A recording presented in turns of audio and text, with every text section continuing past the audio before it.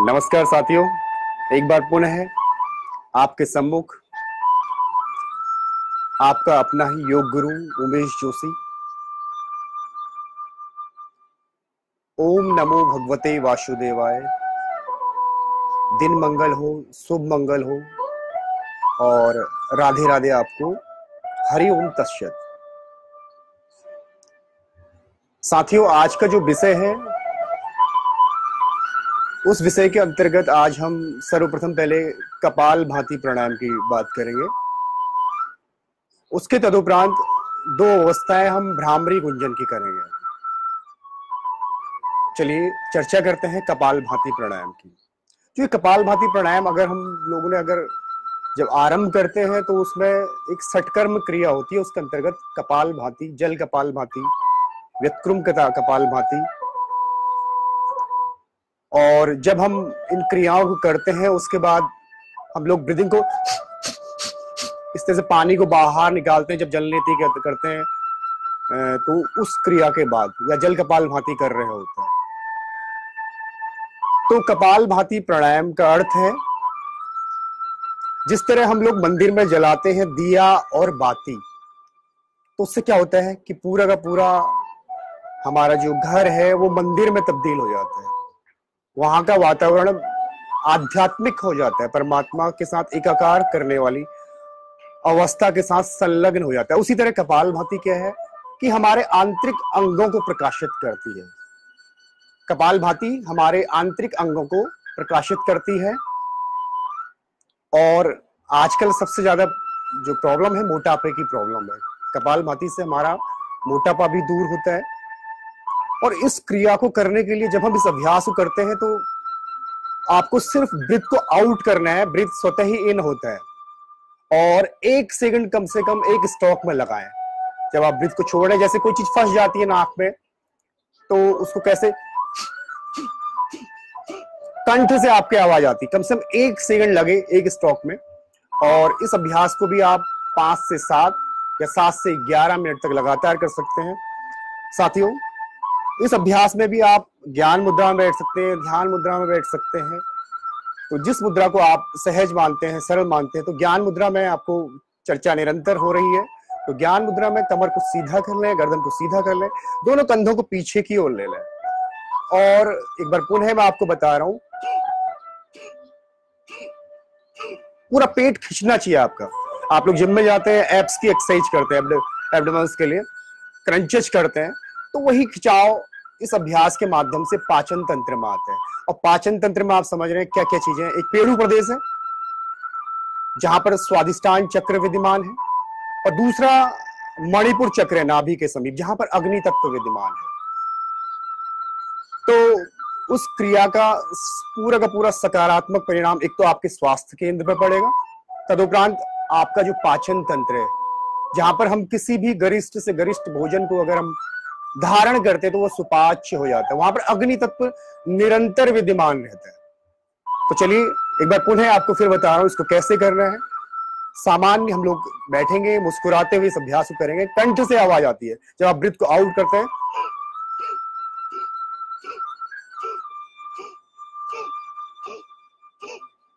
चलिए, एक साथ सभी लोग करिएगा।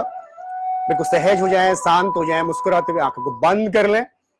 ये सौभाग्य है परमात्मा का, ये माध्यम है आजकल की सैटेलाइट का, मीडिया का, कि हम लोग बड़ी ही सहजता के साथ एक दूसरे के सम्मुख प्रेषित हो सकते हैं, प्रस्तुत हो सकते हैं।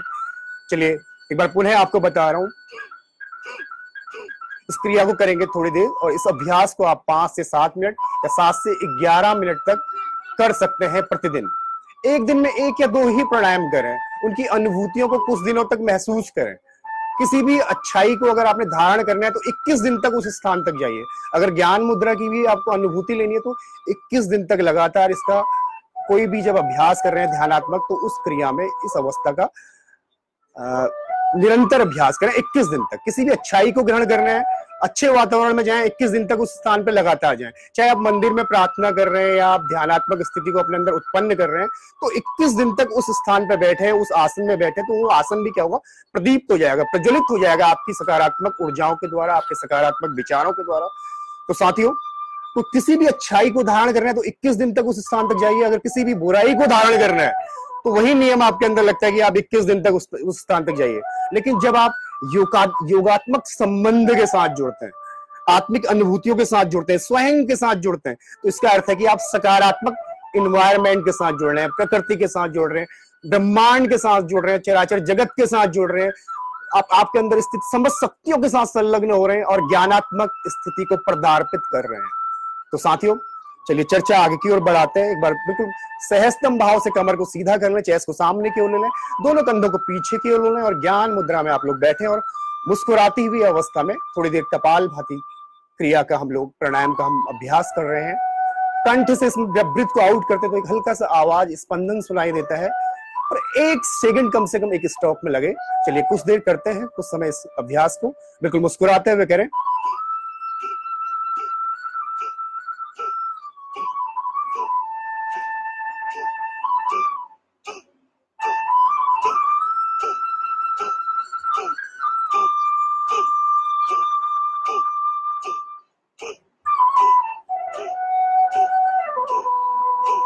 साथियों, ये कपाल भाती क्रिया है, एक अच्छा अकल्पनीय प्राणायाम है।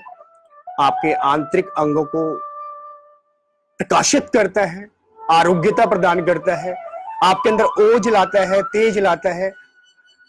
आपके मुखमंडल में आपको प्रस्तुत करने की क्षमता को व्यक्त करता है, क्योंकि हमारा जो प्रेजेंटेशन हम अपने आप को व्यक्त करते हैं तो हमारा चेहरा ही सब कुछ बयां कर देता है। अगर हमारे शरीर में कहीं पर खिंचाव है, तनाव है तो वो चेहरा चेहरा आपको प्रस्तुत कर देगा। इसी तरह जब आप प्राणायाम कर रहे हैं, क्रियाओं को अपने अंदर धारण कर रहे हैं तो आपके मुखमंडल में प्रकाश आएगा। एक प्रसन्नता आएगी। आप एक अलग प्रतिबिंब अपना प्रस्तुत करेंगे। आप कहीं पर भी किसी भी स्थान पर जाएँगे तो एक आपकी अलग छवि, अलग दिशा रहेगी। तो साथियों, जब आप कपाल भाती का अभ्यास करें तो सर्वप्रथम 30 से 40 स्ट्रोक करें, और उसके बाद आप 60 स्ट्रोक भी कर सकते हैं। कहने का अर्थ है कि एक मिनट तक आप अगर आप 60 स्ट्रोक कर रहे हैं तो उसके बाद तीन से पाँच डीप ब्रिथ करें। मैं सर्वप्रथम जब हमारी चर्चा हुई थी तो मैंने दीर्घ श्वास प्रश्वास प्राणायाम को बताया था तो वास्तविक प्राणायाम, दीर्घ श्वास प्रश्वास प्राणायाम ही है। लेकिन उसके विभिन्न प्राणायाम की विभिन्न विधाएँ हैं। उसके अंतर्गत हम कपाल भाती प्राणायाम को हम कर रहे हैं। तो इसमें एक बार पुनः इस अभ्यास को करते हैं। अपना स्पाइनल सीधा रख लें चाहे सामने की ओर कर लें और सहस्तम भाव से आँखें बंद करते हुए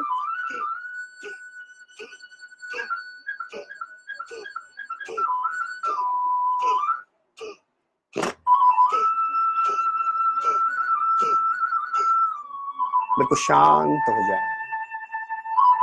अगर जिस तरह आपके फिर से 40 से 50 स्टॉक हो जाते हैं, या आप निरंतर अभ्यास करें तो 60 स्टॉक आपके हो रहे हैं तो फिर लंबी गहरी सांसों को लें। कम से कम तीन से पाँच डीप ब्रीथ करें और इस क्रम को आप पाँच से सात मिनट तक सात क्रम कर सकते हैं, ग्यारह क्रम कर सकते हैं, अपनी क्षमता अनुसार। तो चलिए अब आगे की चर्चा करते हैं ऐसा अकल्पनीय प्राणायाम, जो आपके अवसाद को, आपके प्रमाद को और आपके ब्रह्मांड को, इन दो नकारात्मक स्थितियों को दूर करता है आलस्य, प्रमाद, अवसाद, और उसके अतिरिक्त ब्रह्मांड रूपी अवस्था को जागृत करता है। क्योंकि ब्रह्मांड में शिव विद्यमान है, ब्रह्मांड में संपूर्ण चराचर जगत विद्यमान है तो एक बहुत अकल्पनीय अभ्यास, भ्रामरी प्राणायाम, भ्रामरी उद्गीत भी से कहते हैं। तो इसकी प्रथम अवस्था क्या है? प्रथम अवस्था में आपको सामान्य अवस्था में बैठना है, आँखों को सहस्तम भाव से बंद करने हैं और लंबी गहरी साँसें लेनी है और मानसिक रूप से आप प्रणव अक्षर ओम का भी उच्चारण कर सकते हैं और इसमें आपको भ्रामरी गुंजन करना है, भवरे की तरह। बिल्कुल लंबा गहरा सांस लेते हैं।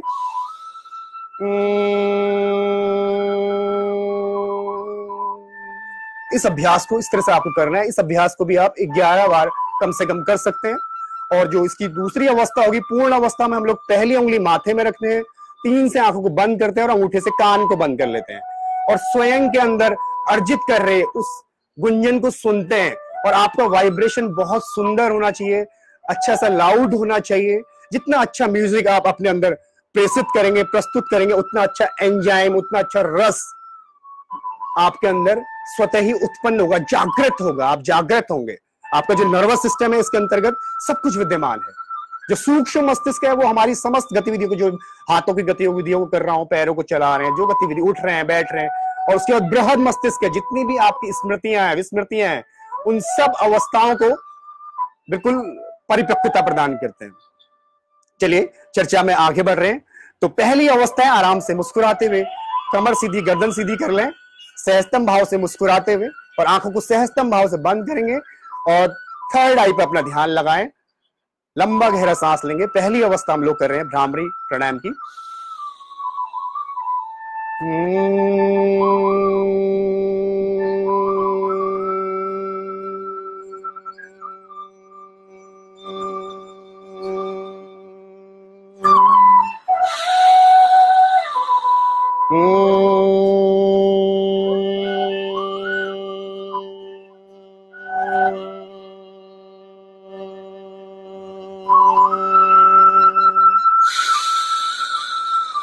इस तरह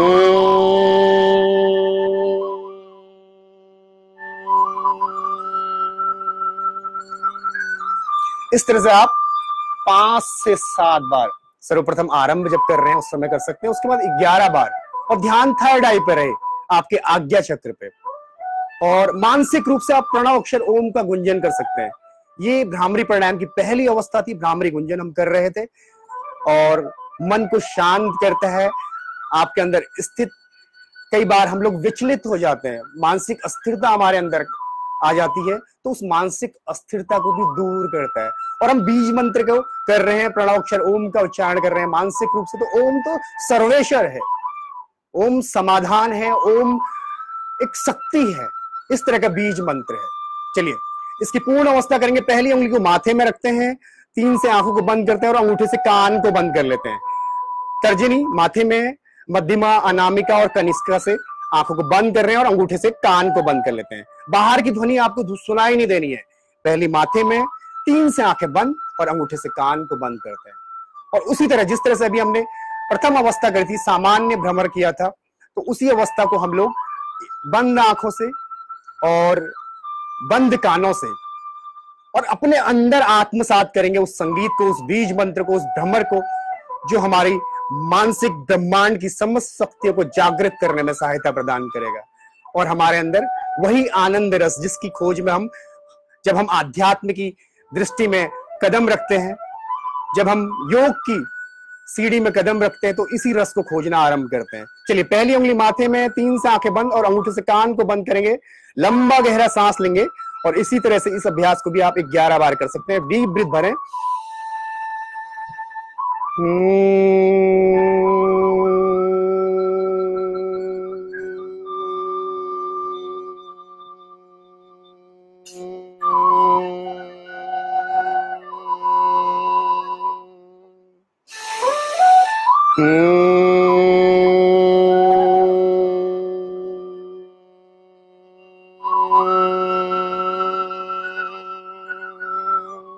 तरह से इस अभ्यास को आप 11 बार कर सकते हैं।